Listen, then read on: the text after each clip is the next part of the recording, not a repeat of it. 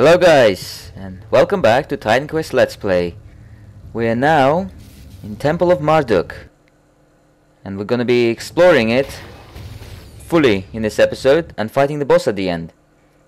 And we're already encountering some some tomb rods which are similar to the ones kind of similar to the ones we've uh, encountered in back in Egypt except those were green and these are blue. Right, so if you remember in the previous episode, we've started Act 3, so uh, if you haven't seen that episode yet of the Hanging Gardens, then it's there. It was episode 50. And now we're um, in this temple, which which is straight straight there, right after the Hanging Gardens. And it's got three floors. We're right now on the first floor, and it's going to be going down, downwards, as opposed to upwards. And uh, as I mentioned in the previous episode, the boss at the end of this dungeon will be Chimera, which is uh, not overly hard boss, but still can be challenging if you don't have the right resistances. But I'll take you through it, so don't you worry. Alright, so this was floor 1, now we're gonna... Oh, hang on. Check out this insulate ring, which... We do have a better one, so we don't need it. Right, so we descend to level 2 first level was the smallest, but they get bigger as you go down. And uh, there's two ways straight away, as you know. This part here is optional. Just got some ratmen. Yeah, the main monster on this floor is pretty much the ratmen. There's loads of ratmen on this floor. On the floor above we've just been in, there's been mostly tomb rods and those scavengers. And down at the very bottom level there'll be some more creatures. There'll be like sprites, jinns, and spiders pretty much. Look at that, Lazarus braces. An epic. Let's pick them up. Pretty decent. 96 armor, that's much bigger than the one we've got right now. Gives a bit of defensive ability, strength, attack speed. Yeah, this seems to be about the same. But gives us quite a lot of protection. I mean, we're losing out on fire and lightning resistance and on... Defensive ability goes up, but defensive ability goes down. Yeah, yeah, we do need these because 96 armor is pretty damn decent. And this in this level, I mean uh, in in Act 3, the enemies do start to do quite a bit of damage to you. So yeah, we could sacrifice a little bit of offensive capabilities for defense. Although we're not we're not really sacrificing much of DPS, it's just the offensive ability. But we're sacrificing it for armor and defensive ability. We could still hold on to the obsidian braces because there's a chance we might need them. And we will, because the boss at the end of this will be using fire and lightning. So we will be using obsidian braces for the boss fight. And uh, if you notice there's lots of optional rooms here, small ones.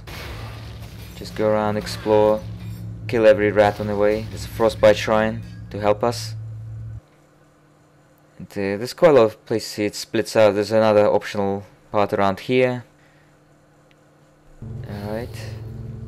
Tomb rods again. Yeah, the tomb rods keep doing that projectile attack which causes you to slow down. I think it deals poison. Like a mild poison damage, but slows you down as well. Which I guess for slow enemies like them, it helps them to catch up with you. I know it's quite a lot of enemies which are slow, they tend to find ways to slow you down. What's that? That's uh, one of the relics. Yen Lo Wang's bloodletting. That's good for the for the bleed characters, the characters who utilize bleed damage. So if you're usually for someone who has a rogue mastery, that's good. If you're going for the bleeding build. But otherwise, it's not gonna be that useful. Alright, so you go this way. And that is an enormous rat. That is seriously huge. Sinet Patchfur. It's one of the Ratman heroes. He's huge. I mean, look at it. If you saw this in your basement, you'd probably faint. Gladly, he's not too tough. He just looks big and scary. But, uh, yeah, he's obviously stronger than ordinary Ratman, but who knows, we could pretty much tank him. He dropped dropped one of the monster infrequents. That's crap. Not gonna have that. So that's what he dropped, Ratman's Visor. So most monsters have like, you know, the rare drops. And that's uh, one of the Ratman res. It's not that good. It gives some nice stun resistance. More. It also gives more armor, a lot more armor than what we've got. But we're gonna be losing out on tons of offensive and defensive ability.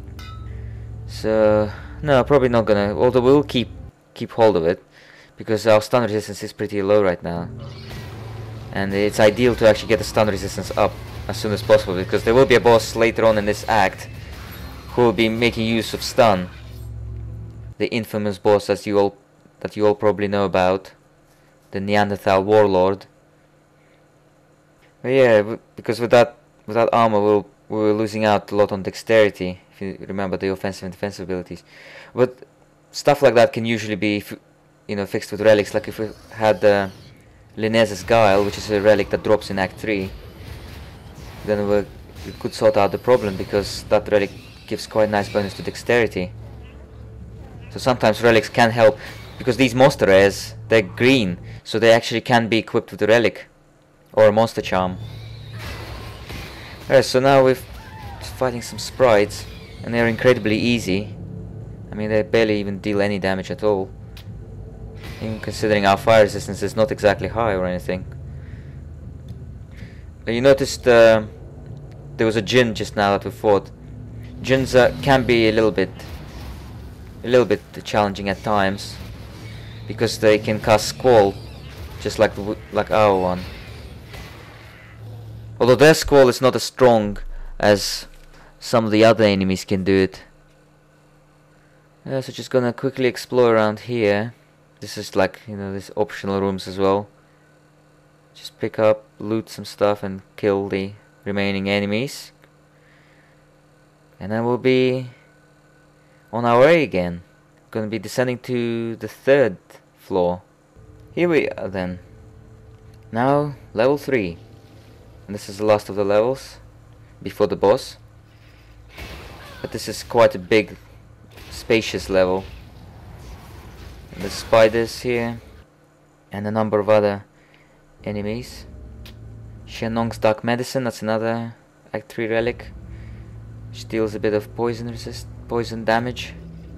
And it also gives uh, reduced resistances. That's usually the effect that's useful very useful, especially when you, when you get this relic on legendary difficulty. You'll be it it'll obviously give a higher bonus. So this is uh, like one of the good things to put on your weapon because you can uh, reduce the enemy resistances when you attack them. Alright, so just I just speed through some of these parts here because it's pretty repetitive, just fighting the same enemies really. I like how this I like the design of this dungeon, it's very nice. I like how there's like this like a water canal or something and we just can walk through it yeah dungeons which look different to most other dungeons in the game usually nice. And this is a this is a good dungeon I like it. Actually I've uh, just prior to this episode I sort of briefly checked online about Temple of Marduk because I've I haven't I don't know, know much about it. Well I didn't know anything about it prior to this. And uh, yeah apparently it was uh, dedicated to a Babylonian god. And yeah, um, I, I have looked, there's apparently some pictures as well of this temple. It actually didn't look much like um, the like on the outside with the hanging gardens. It actually didn't look that much like in the game. But I could be wrong. I don't, like I said, I don't know anything about this. If anyone knows anything about Temple of Marduk, do let me know. Apparently it's got another name, like it's something like Esagila or something. Anyway, there's two Jinns over there. Notice, notice that they've cast a squall as well, on exactly the same spot as we cast ours. Which can be a little bit confusing, because, because you know, they're the same color and they will cast right on the same spot. And you could be standing there and getting damaged, thinking it's your squall there, when in reality it's their one. But like I said, their squall is not overly bad I mean, when you compare it to the squall that the Grey Sisters do in Act 4, this is nothing. I mean, the Grey Sisters squall is very powerful. It's even like red in color. So I'm I'm glad actually it's different color than the one we cast because otherwise it, it would have been too confusing. But we still got a while till that part. I mean, that's only in Act 4.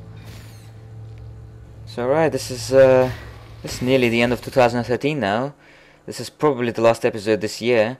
The next episode will be done in 2014.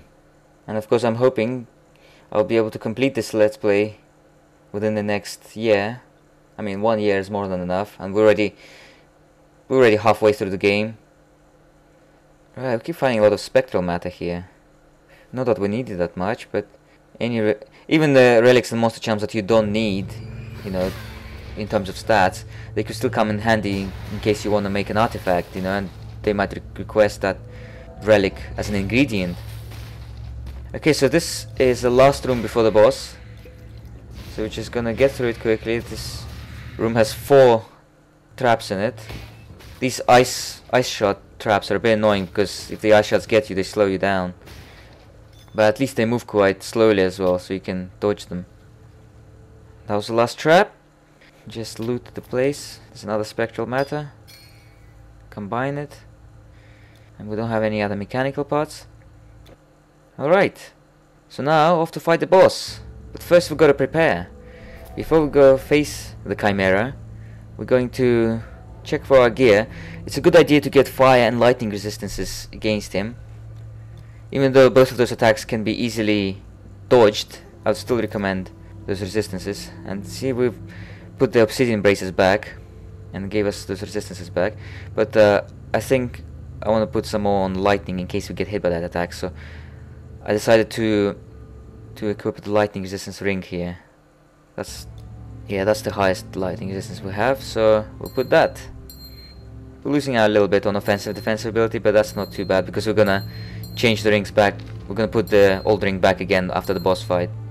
So yeah, now got 55% lightning resistance, which is good enough, and 44% fire resistance, which is fine as well. So these are the two resistances you need for this boss. But like I said, you can you can dodge both of those attacks. Alright, so let's go and fight the boss. We're ready to take him on. And uh, if you notice in the beginning, there are traps in this room. It's quite a small room and there are traps in there. So I would recommend you to go in and destroy the nearest two traps straight away before he even comes within range. And uh, once you've destroyed those traps, just fight on this side of the room. It's better this way. And that was his lightning attack, area lightning attack. Now notice he's got three heads. He's got snake head, goat head and lion head. And each one is actually executing each of his attacks. If you notice his attacks are telegraphed really well. If you notice uh, the snake head usually does fire, although it does bite as well.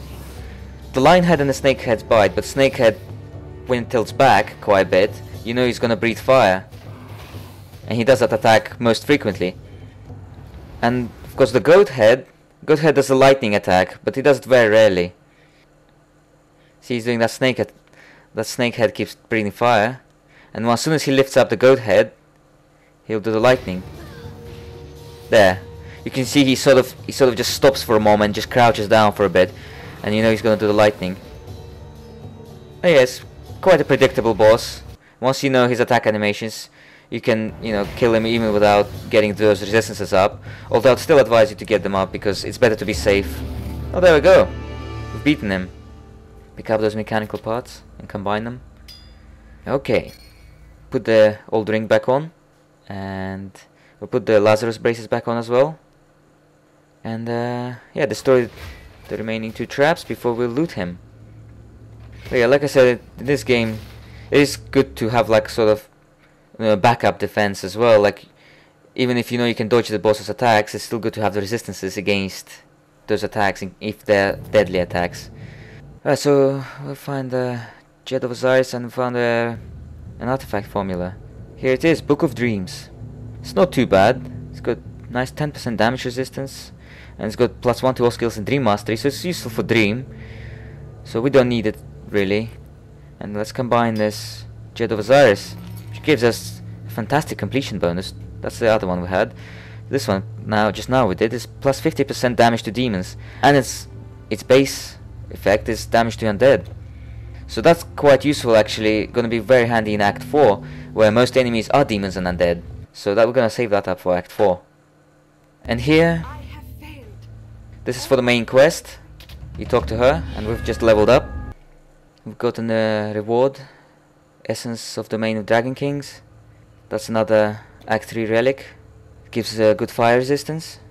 Okay, so we're just gonna come out into the village here, we'll the portal and the rebirth fountain before we level up. Alright, let's level up. So we've got, we're almost close to the top tier of defense, so I'm going to put two points in that. So at the next level up, we'll be able to get to the top and get those skills. And the last point I'll put into Squall. So yeah, and for the attributes, we should keep putting points in strength. So one in strength, and our intelligence is lagging behind, so put nothing in intelligence. That's it. We're on level 28 now, and uh, we'll stop around here. So I'll see you guys in the next episode. Bye bye.